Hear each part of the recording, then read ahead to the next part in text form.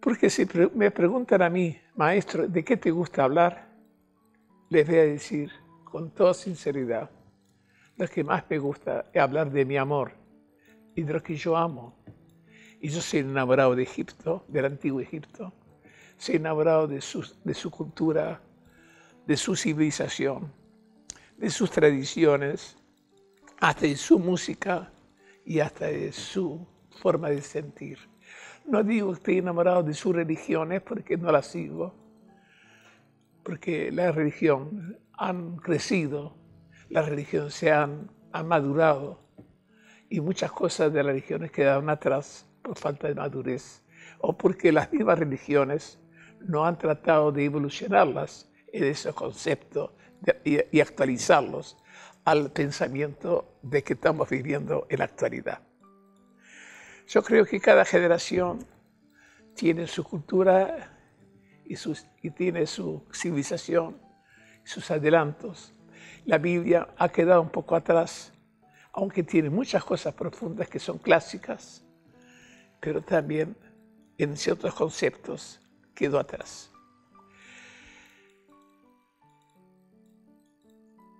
En un momento, cuando uno lee la Biblia y dice que, que Dios está enterado hasta cuando un gorrión cae. La caída del gorrión, Dios está de acuerdo con la caída de ese gorrión, que sabe todo, que Dios está en cada cosa. Posiblemente esté con cada cosa. Pero hay muchas cosas muy importantes y pregunto si Dios estaba de acuerdo.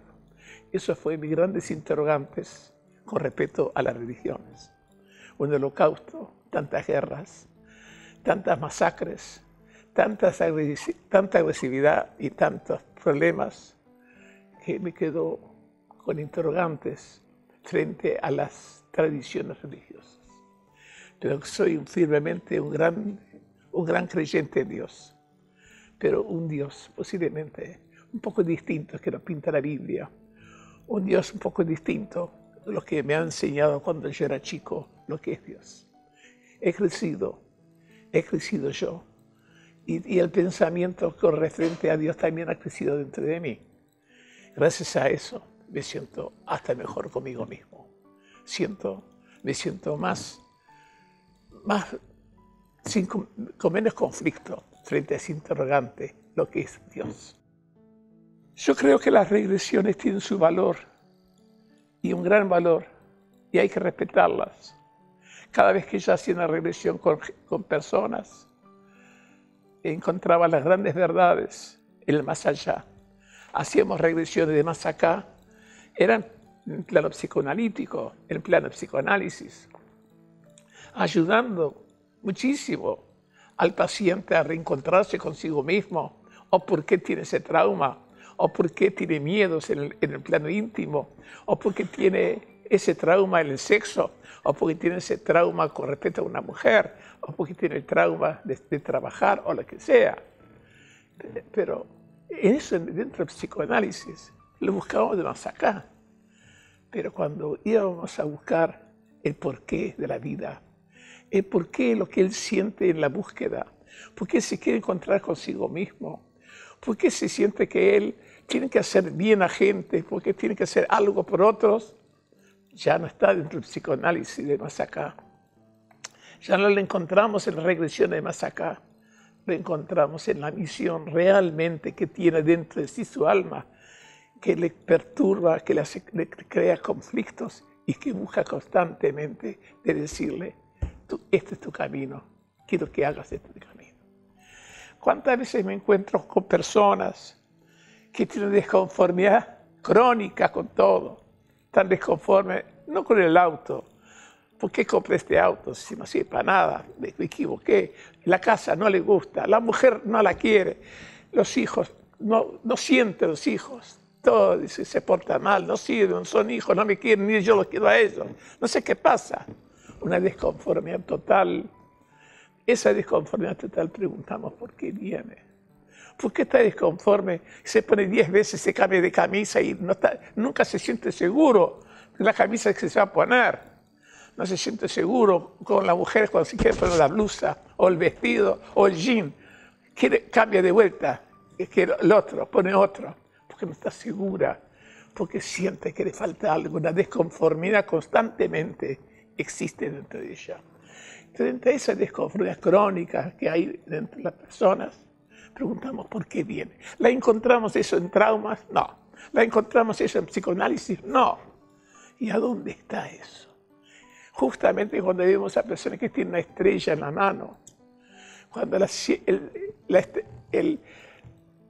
cielo, o no, yo digo, hasta que el Espíritu me dice, esta mujer tiene una estrella, tiene una misión, tiene que cumplir algo importante, tiene que hacerlo.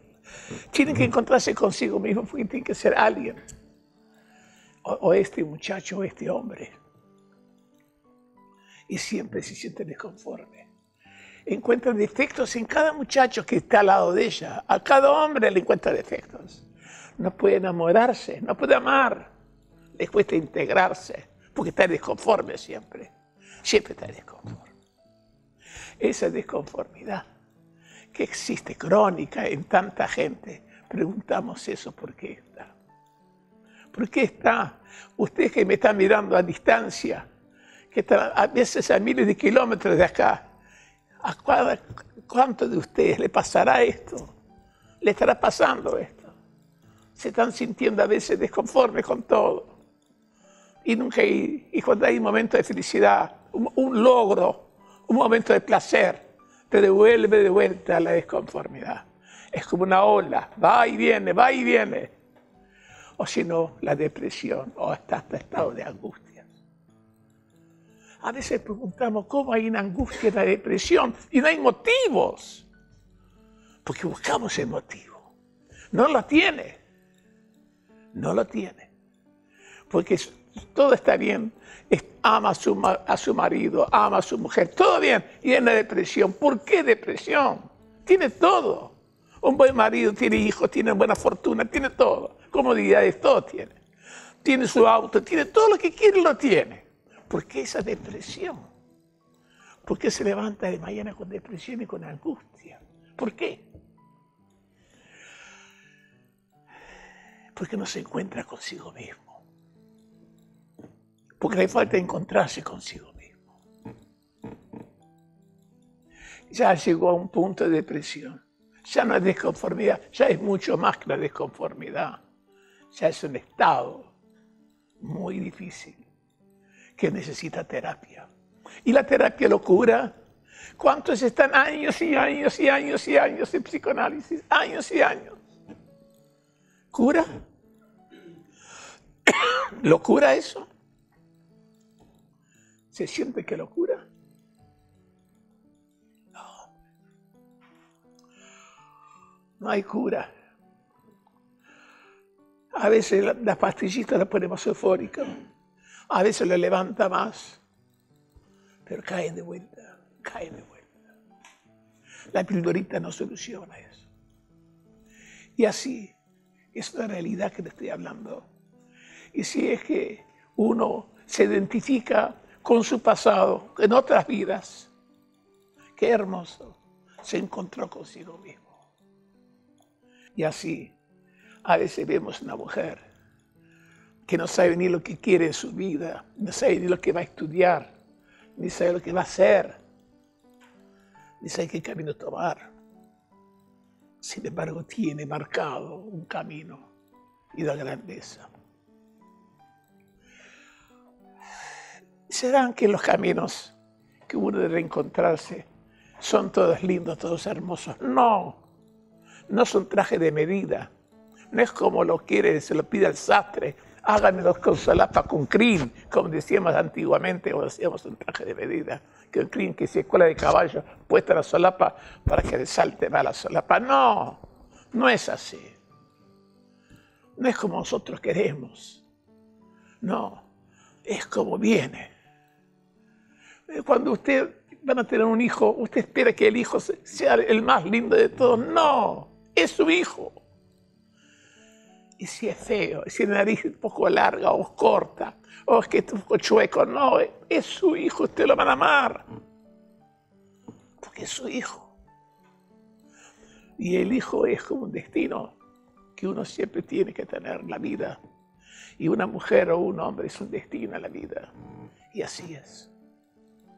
Y la misión es un destino, un gran destino.